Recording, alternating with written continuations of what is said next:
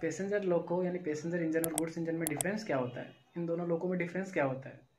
Hello guys तो कैसे आप सब लोग? स्वागत है एक और न्यू वीडियो में आपका। तो आशा करता हूँ कि आप भी ठीक होंगे, जैसे मैं ठीक हूँ वैसे।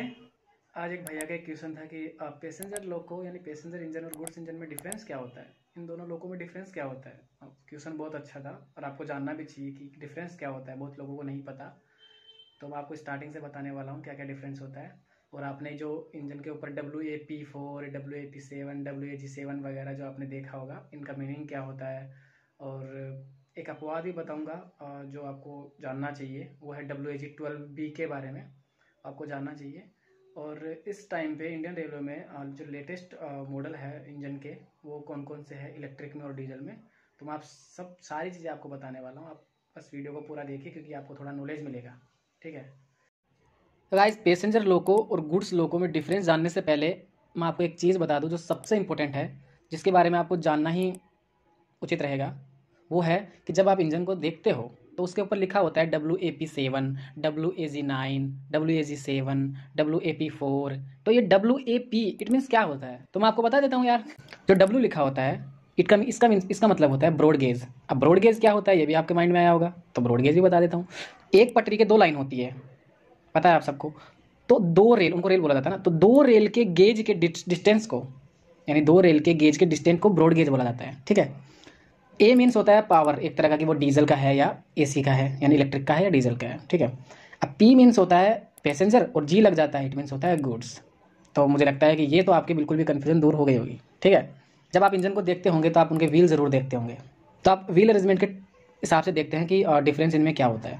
तो देखो भाई पैसेंजर लो लोको होता है उसमें जो टाइप होता है व्हील अरेंजमेंट होता है वो बोबो टाइप का होता है जबकि गुड्स लोको में कोको टाइप का होता है ठीक है अब जो बोबो टाइप का होता है और जो गुड्स का कोको टाइप होता है तो पैसेंजर लोको में जो बोबो टाइप का होता है उसमें गियर रेशियो कम होता है ठीक है और गुड्स लोको में गियर जो गियर रेशियो होता है वो ज़्यादा होता है अब इस ज़्यादा गियर रेशियो कम या ज़्यादा होने से क्या फ़र्क पड़ता है देखो भाई अगर गियर रेशियो कम होगा तो इसका मतलब होगा कि उसका ट्रैक्टिव एफर्ट्स कम होगा अब ट्रैक्टिव एफर्ट्स क्या होता है कि जब लोड यानी पीछे के जो कोच लगे हुए होते हैं पैसेंजर गाड़ी में, जो कोच लगे होते हैं, वो कम लगे होते हैं।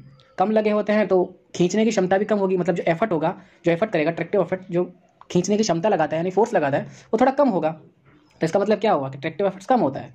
अब कोको टाइप यानी जो डब्ल्यू होता है, जिसमें गियर रेशियो ज़्यादा होता है, उसमें ट्रैक्टिव एफर्ट्स ज़्यादा होता है। इट मीन्स क्या हो गया, क्योंकि उसके पीछे जो साठ, पचास, साठ जो बोगी लगी होती है, और उसमें भी प्लस लोड होता है, माल होता है उसमें तो उनको खींचने के लिए ट्रैक्टिव एफर्ट ज़्यादा होता है मतलब फोर्स ज़्यादा लगाना पड़ता है।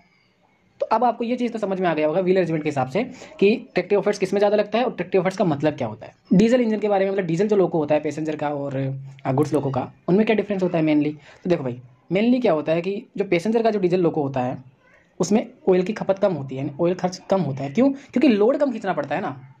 लेकिन ऑयल ज़्यादा खर्च होगा किसमें गुड्स लोको में। एंड अब ऑब्वियसली है कि जिसमें ऑयल कम खप मतलब कम खपत होगा, जिसमें ज़्यादा चीज़ें खराब नहीं हो पाएँगी इतनी जल्दी तो उसका मेंटेनेंस भी कम होगा।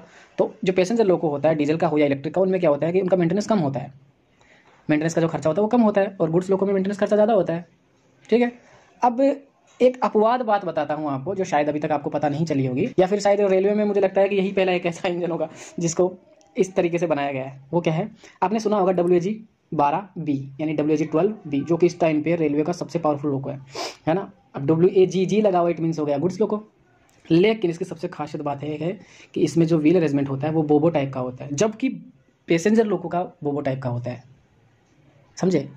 तो हुई ना एक अलग बात। अब शायद मुझे लगता है कि आपको सीखने को मिला होगा कि हाँ इसके ऊपर अगर आपको वीडियो चाहिए होगा तो आप मुझे बोलना मैं इसके ऊपर वीडियो बनाऊँगा कि क्यों लिया गया है कि किस कौन सा रीज़न है क्या वजह है वो तो आप मुझे बताइएगा कि इस टाइम पे इंडियन रेलवे में जो पैसेंजर पैसेंजर जो लोको होता है, उसमें इलेक्ट्रिक का लेटेस्ट मॉडल कौन सा? इलेक्ट्रिक के लिए लेटेस्ट मॉडल तो वो है डब्ल्यू ए पी फाइव है ना? और पैसेंजर में ही डीजल के लिए लेटेस्ट मॉडल वो है W D P four D अब गुड्स के लिए बात करते हैं कि गुड्स में जो इलेक्ट्रिक के लिए लेटेस्ट मॉडल है, वो कौन सा है? तो वो लेटेस्ट मॉडल यही है W A G twelve B ठीक है? और डीजल के लिए गुड्स में, वो है W D G four G जिसको बहुत लोग पसंद करते हैं डीजल इंजन तो अब मुझे आप, आपने, आपको इस चीज़ के बारे में समझ में आ गया होगा कि पैसेंजर लोको और गुड्स लोको में डिफरेंस क्या होता है?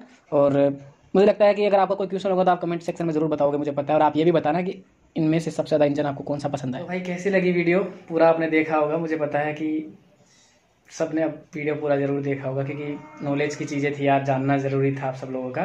इसलिए मैंने ये बनाई है उस भैया का क्वेश्चन बहुत अच्छा था, उसके लिए मेरी तरफ़ से उनको धन्यवाद। एंड आपको कोई भी अगर कन्फ्यूज़न हो, कोई डाउट हो किसी चीज़ के बारे में तो आप ये झिझक पूछ सकते हैं। यहाँ पे नहीं तो मुझे इंस्टाग्राम पे पूछ सकते हैं। और रिप्लाई ज़रूर मिलेगा, भले थोड़ा लेट मिल जाए, क्योंकि ड्यूटी पे भी होता हूँ तो मैं कई बार मोबाइल यूज़ नहीं कर पाता। तो आप मुझे बताइएगा कमेंट सेक्शन में, और आपको कौन सा इंजन पसंद है, वो भी मुझे ज़रूर बताइएगा, क्योंकि मैं जानना चाहता हूँ सब लोगों का फेवरेट क्या क्या है। बहुत भाइयों का पता है इलेक्ट्रिक किसी का ज़्यादातर का डीजल ही पता है मुझे। डब्ल्यू ए पी सेवन या फिर डीजल लेकिन आप अपना भी बताइएगा कि आपको कौन सा इंजन सबसे ज़्यादा फेवरेट लगा, कौन सा ज़्यादा अच्छा लगा। और कोई भी डाउट हो तो मुझे ज़रूर मैसेज करिएगा। और पढ़ाई पे लग जाइए दोबारा। बहुत अच्छे से तैयारी कीजिए, क्योंकि बार बार लाइफ मौका नहीं देती है, ऐसा समझिए। अच्छे से प्रिपरेशन करिए और ख्याल भी रखिए अपना। घर वालों को भी ख्याल रखिए, खुश भी रहिए। टेक केयर मिलते हैं एक और नई वीडियो में। ठीक है? ठीक टेक केयर